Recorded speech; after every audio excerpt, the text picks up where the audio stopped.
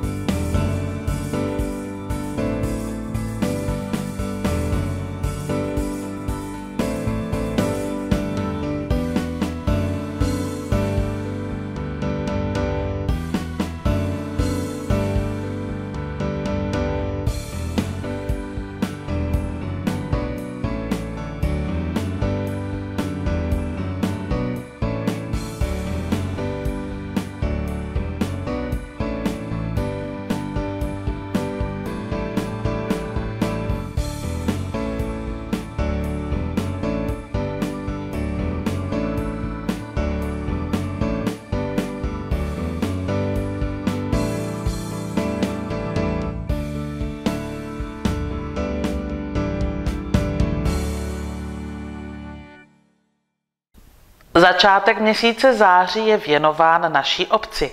Oslavy Dne obce byly zahájeny sázením našeho národního stromu lípy.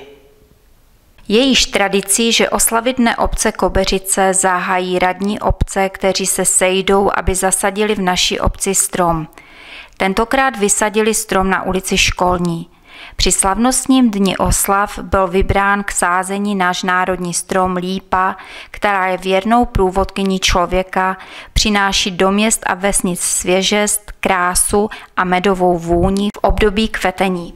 Říká se, že stromy jsou jedním z nejlepších léků na nemocnou krajinu, která potřebuje pomoc a proto se každý zasazený strom počítá.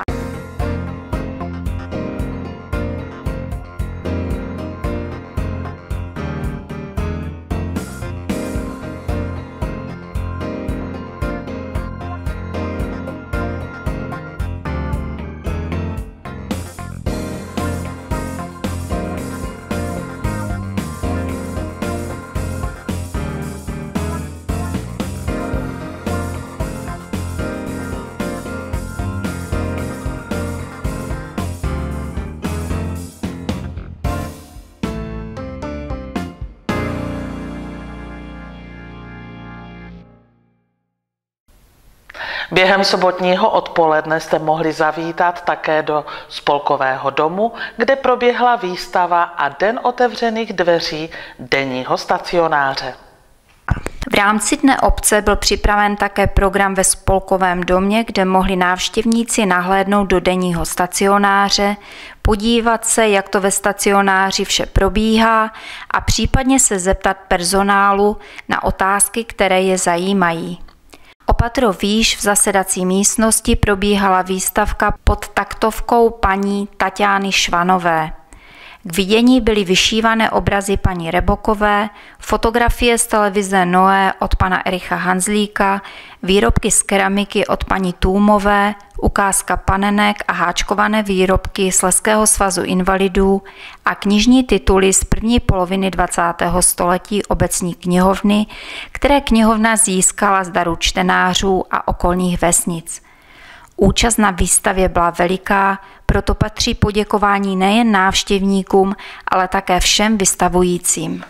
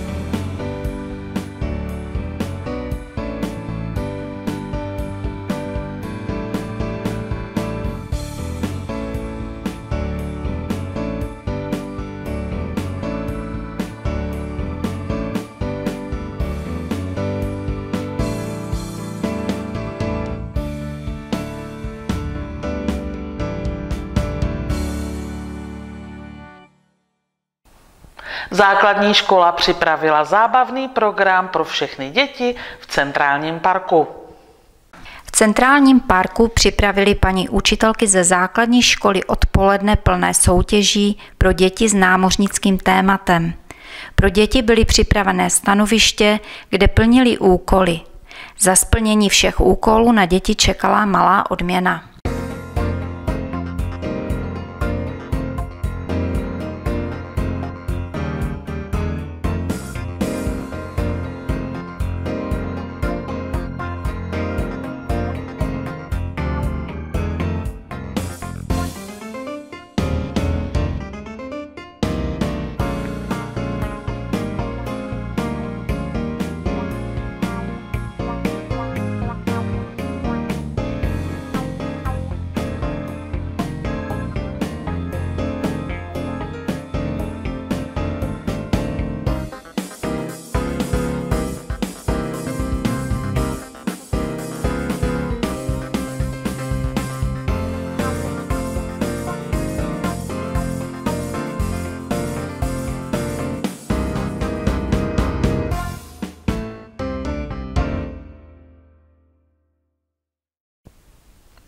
Hlavní kulturní program Oslav Dne obce probíhal na parkovišti u autobusového nádraží. Oslavy Dne obce se uskutečnily v sobotu 3. září na parkovišti u autobusového nádraží, kde byl připraven bohatý doprovodný program. Celé slavnostní odpoledne zahájil starosta obce spolu s Vojtem polské družební gminy Koběřice. Po celé odpoledne a večer bylo připravené bohaté občerstvení, o které se postarali místní spolky. Pro děti připravilo Združení čtyřlístek kolo štěstí o zajímavé ceny. Hudební vystoupení zahájila dechová hudba Kobeřánka. Kopec hledají sami, ale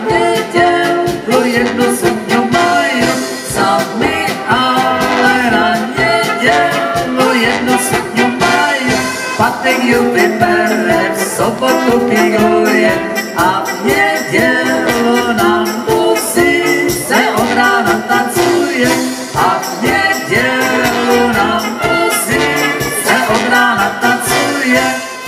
V podvečer byl připravený program pro děti, na které čekalo minidisko. thank you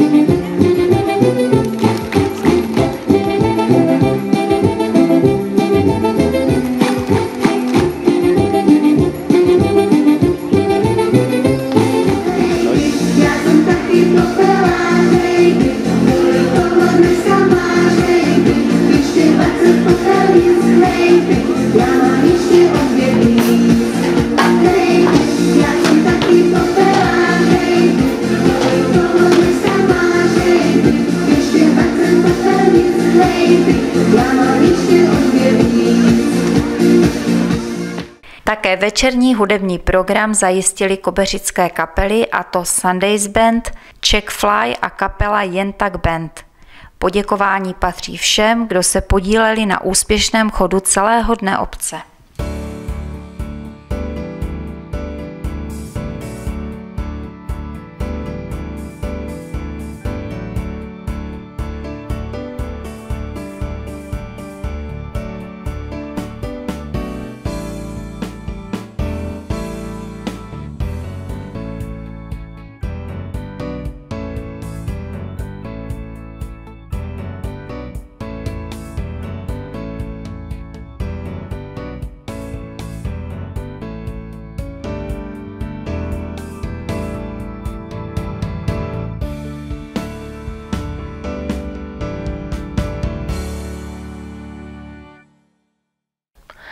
To bylo z těchto vydání Kobeřických minut vše a já vám děkuji za pozornost a těším se na vás zase opět na shledanou příště.